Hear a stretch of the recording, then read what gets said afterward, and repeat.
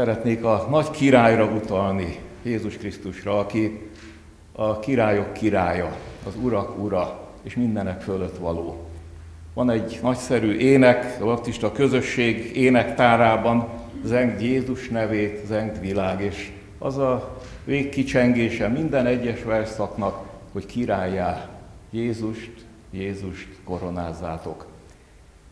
Miközben egy nemzet nagyon fontos erekjéjéről beszélünk, ami nemzeti összetartozásunk fontos kérdéséről, hadd lássuk azt, hogy a királyok királya, az urak ura Jézus Krisztus, és mi hozzá is tartozunk. 1978-ban egy osztály kirándulással a Nemzeti Múzeumban jártunk.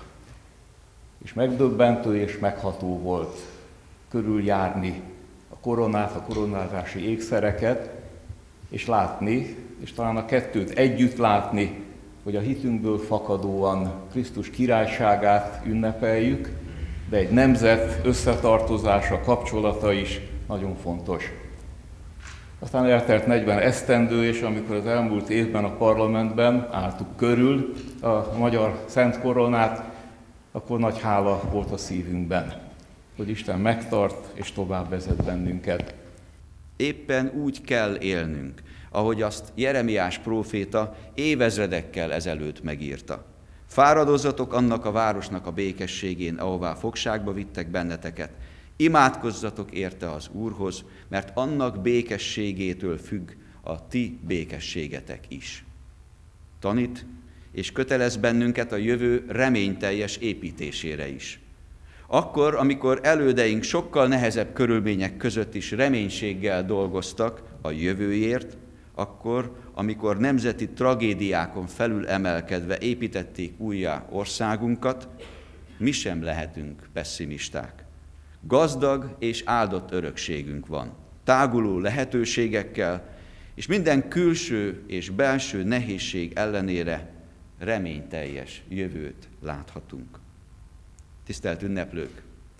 A háladás okainak összegyűjtése és a jövendő jövőbe mutató tanulságok levonása után hadd kívánjam befejezésül a 33. Zsoltár szavait mindannyiunknak, magunknak, országunknak, nemzetünknek. Boldog az a nemzet, amelynek Istene az Úr, az a nép, amelyet örökségül választott. Billy Graham magyarországi látogatását zseniálisan összekötötték a Szent Korona visszaszolgáltatásával a gondviselés rajtuk keresztül, a baptista egyházon keresztül. Megmutatta csodás humorát is.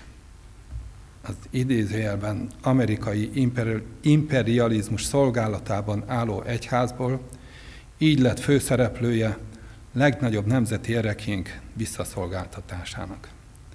Tisztelt elnök úr, tisztelt megjelentek! Magyar kormány részéről mindezekért a nyitottság természetes, és egyértelmű az egyházak, így a baptista egyház felé is. A szocialista diktatúra, kommunista diktatúra keresztény üldözése után.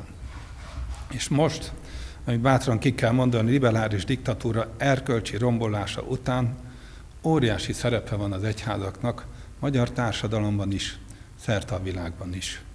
1978-as hazatérés apropóján én most a, a korona korábbi időszakaival az összes hazatérést fogom mérlegre tenni, mert hogy 11-szer tért haza, amiről majd Glant Tibor barátom beszélni fog, az, az az utolsó hazatérés, és reméljük, hogy valóban az utolsó volt.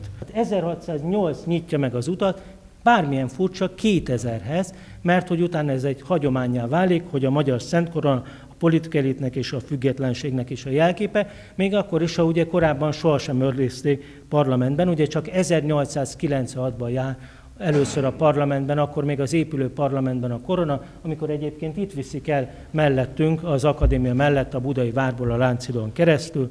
1790 ugye azért fontos, a második József utáni hazahozatal, mert hogy ekkor Budára kerül vissza, az új magyar fővárosba, a tudományos kutatása is megkezdődik, fellendülés van. 1853-as megtalálás azért fontos, mert ha ekkora föld alatt marad, valószínűleg nincsenek meg a koronázási elvények.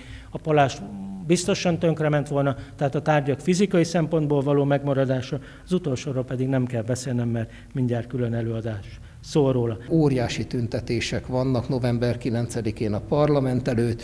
Egy rendkívül heves kongresszusi meghallgatás van november 9-én, ahol Király Béla és Nagy Ferenc azt mondják, hogy bizony haza kell adni a Szent Koronát, mert ha hazajön, akkor a publikus diskurzus részévé válik. Az emberek magyar történelemről fognak beszélni, és nem a hagyományos magyar-szovjet meg magyar-román történelmi barátságról tanítanak nekik hülyeségeket. Nagyjából így csoportosítható. Az ellenérv nyilvánvalóan az volt, hogy ez legitimálja Kádárt, a Szent Koronának nincs helye Magyarországon addig, amíg Magyarország szovjet gyarmat.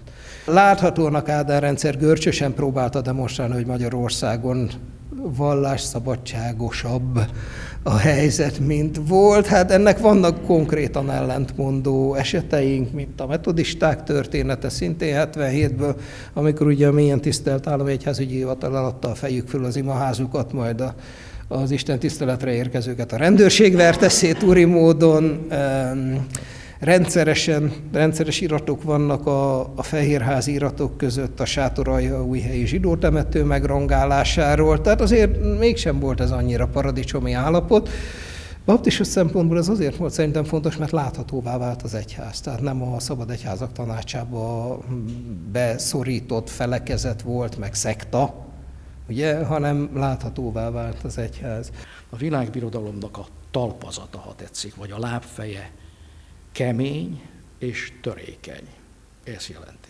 És amikor leesik az a kiskő, és összetöri, akkor az egész birodalmi eszme szétzúzódik.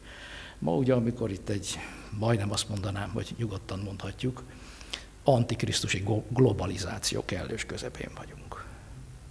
És akkor picit gondoljunk bele az eseményekbe, egyesülések itt-ott, amott, csalások tömege az ilyen egyesítő mozgalmakban, akkor nem kellene nekünk keresztényeknek egy kicsit többször olvasni a Bibliának az apokaliptikus irodalmát, mondjuk a jelenések könyvét. És nem kellene egy kicsit többet imádkoznunk azért, hogy a Jóisten adja meg nekünk azt a kegyelmet, hogy ne abban legyen részünk, hanem az ő országának az építésében.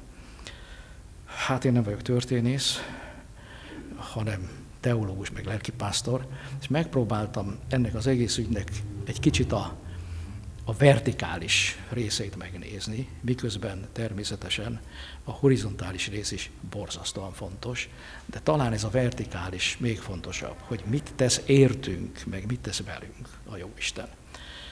Hát ez már egy kicsit prédikációra sikeredett, és azután mindig azt szoktuk mondani, hogy ámen.